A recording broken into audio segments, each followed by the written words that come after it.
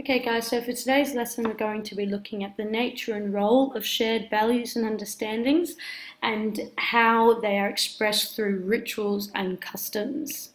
So belief systems and ideologies are a product of the environment and the times in which they have stemmed from. So this means like uh, Christianity or Islam uh, are products of that kind of time frame. So the early uh, BC, so late BCs, early ADs, and the Middle East. There. So what um, has kind of shaped these belief systems are the environments and the times they've come from. And it is these environments and times that shared values that underpin beliefs and ideologies arise from and kind of create those shared understandings.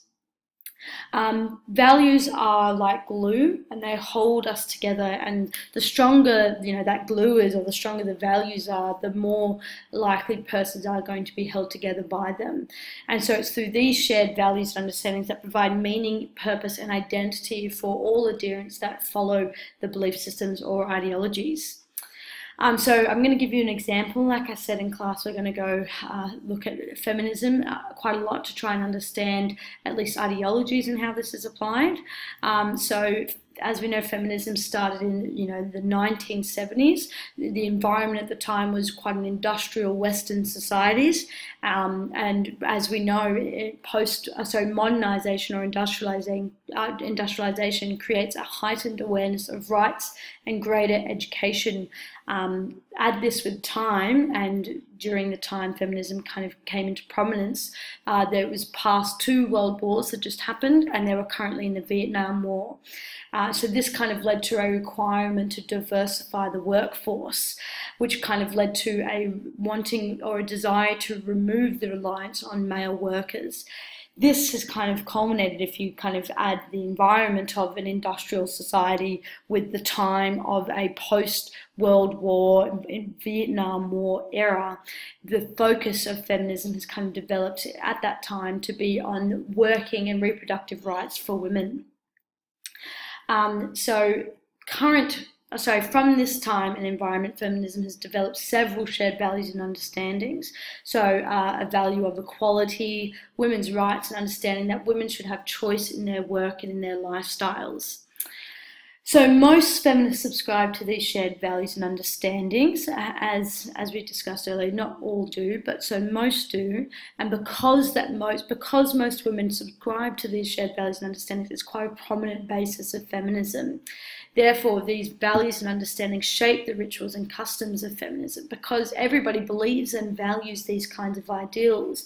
Um, their practices are, are, kind of shaped by this, and therefore, rituals and customs. Um, so, therefore, their rituals and customs kind of are based on that, which then leads to creating meaning, purpose, and identity for feminists who subscribe to these values and who kind of have these rituals and customs that are shaped through this. Um, so current feminism, so women, that's just one example. I'm going to look at like more current feminism now to try and understand this a little bit as well. So women have been working, this is the time in which we're at and the environment in which we're at. They've been working for 40 years. However, statistically, they still earn less and continue to do more housework. Therefore, feminism is now focused on challenging the perceptions and attitudes towards women at home and work rather than trying to push to get women in work. Um, the shared values have also shifted. Also, shared values have remained the same, but understandings have shifted to some extent.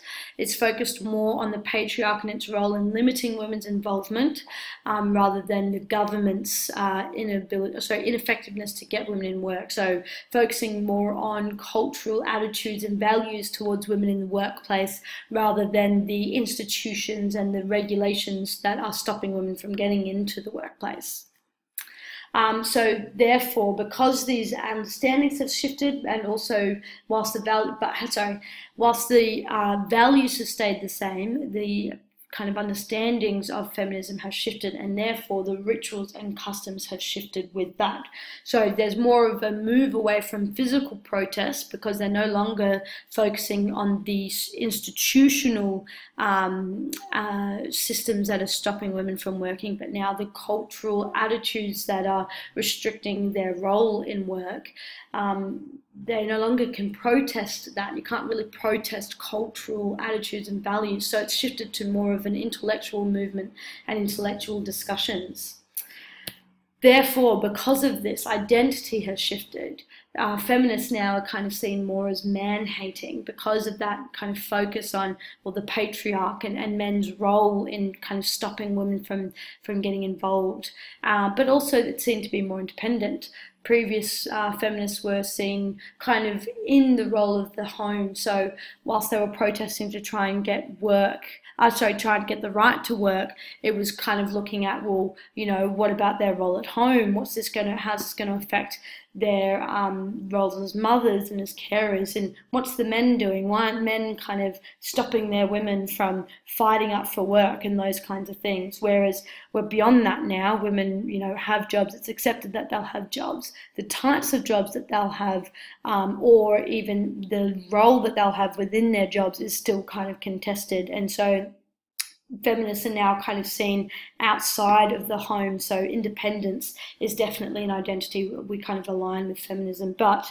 because of that view on patriarchy, there's still that ideal or that identity of man hating with this, the with the kind of the role women now have in society, the fact that they do have jobs, and especially in jobs where it gives them power and a voice, like journalism and like politicians, because of that platform, um, they're able to create a meaning of empowerment. No longer are they requesting the government to give them the power. They're now saying, "We demand power. We deserve power," and and you guys, so men or or culture, are kind of stopping us from having that that, but we deserve this. So the meaning of empowerment is definitely a big part of feminism now.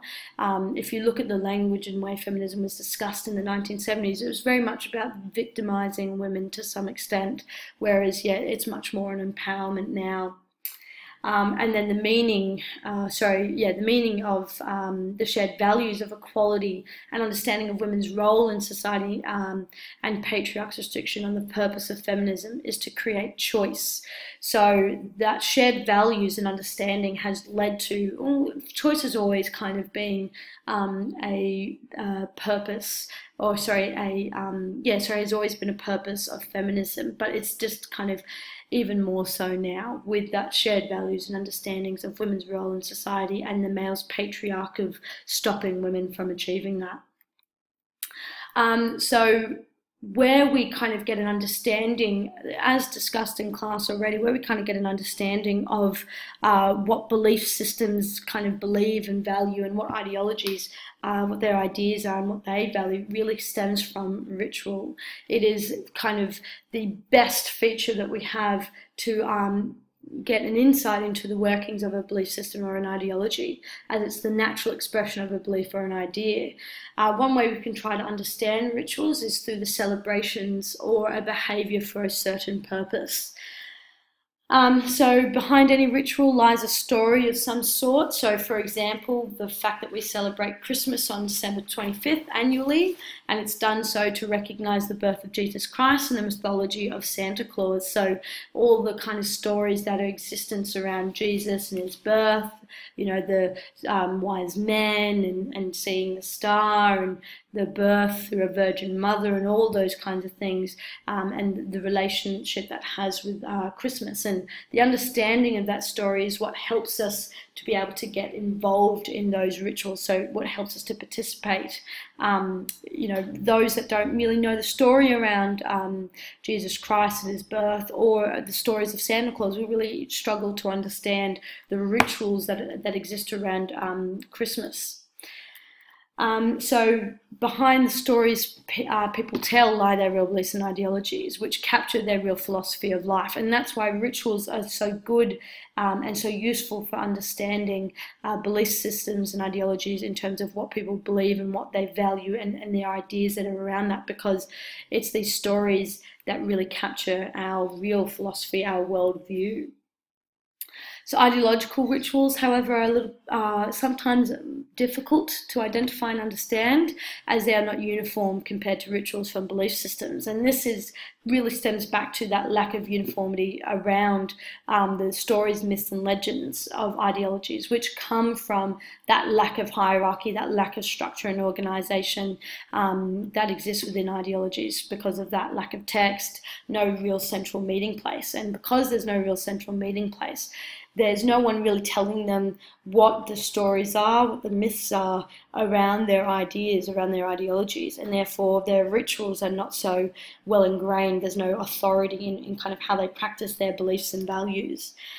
So, an example of this again, we're going to look at feminism. Feminists lack commonality in the ways in which they express their views. So, this can kind of be seen through the way that some women and men may choose to express their desires for equality in the workplace and home by protesting against unequal pay and lack of government um, action on that, maybe potentially creating signs and marching on the street. So, this is very much macro level example um, whereas others may choose to regularly read feminist literature and discuss these ideas amongst their friends and family, so the micro world.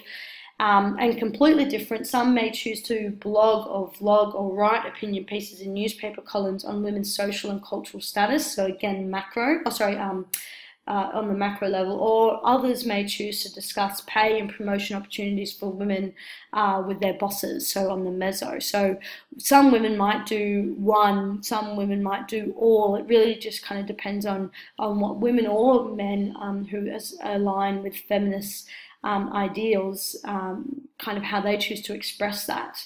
Um, but it's through those expressions, again, that we can really understand what their beliefs and values are. And so, really, that's the role of uh, expressing values, or sorry, the ritual expressions and customs, because it really just demonstrates what the beliefs are, what the values are of any belief system or ideology. And they also help to really shape that identity and create meaning and purpose.